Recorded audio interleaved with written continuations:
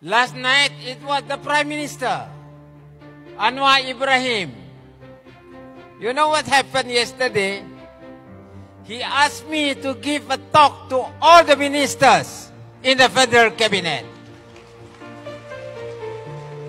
Before they started their meeting, the Prime Minister requested me 30 minutes to teach them how we live and how we develop the state of Sarawak, particularly in the new economy. The hydrogen economy, which is new to them,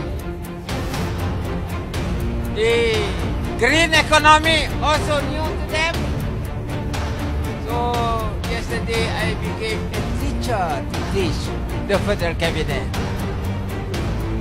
You know what happened? He used the word in Malay, kuliah.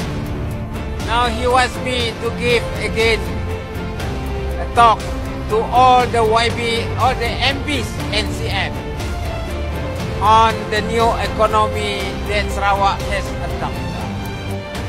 Sekarang kita, dia ikut kita. Kita tidak ikut dia. We are very humble.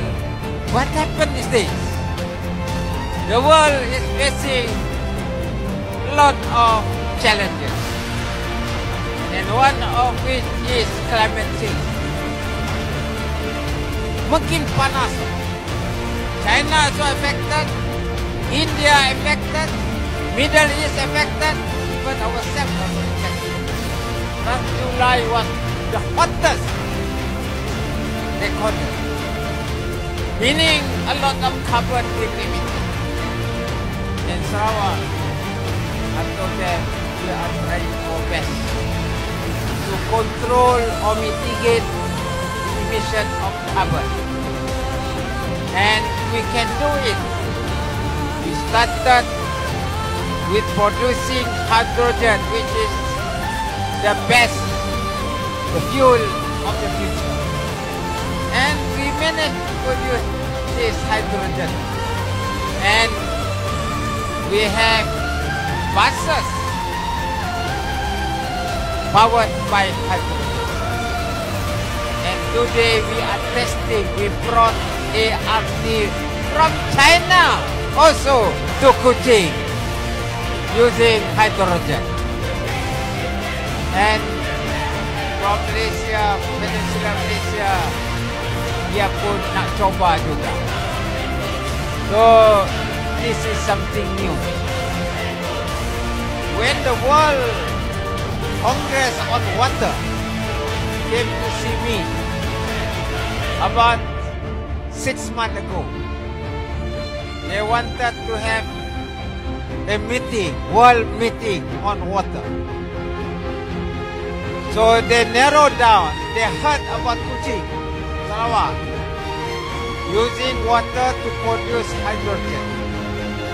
So they include us in the list so that all the engineers, experts in water will come and discuss about the future of water. They narrow down to two places.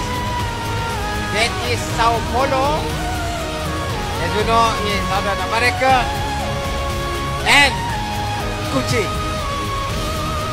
Finally, the whole assembly in France, two days ago, they decided we choose Kuching to be the venue. So, 80 nations, 80 negara will come over to Sarawak, particularly in Kuching, to discuss the future of water and engineering on water.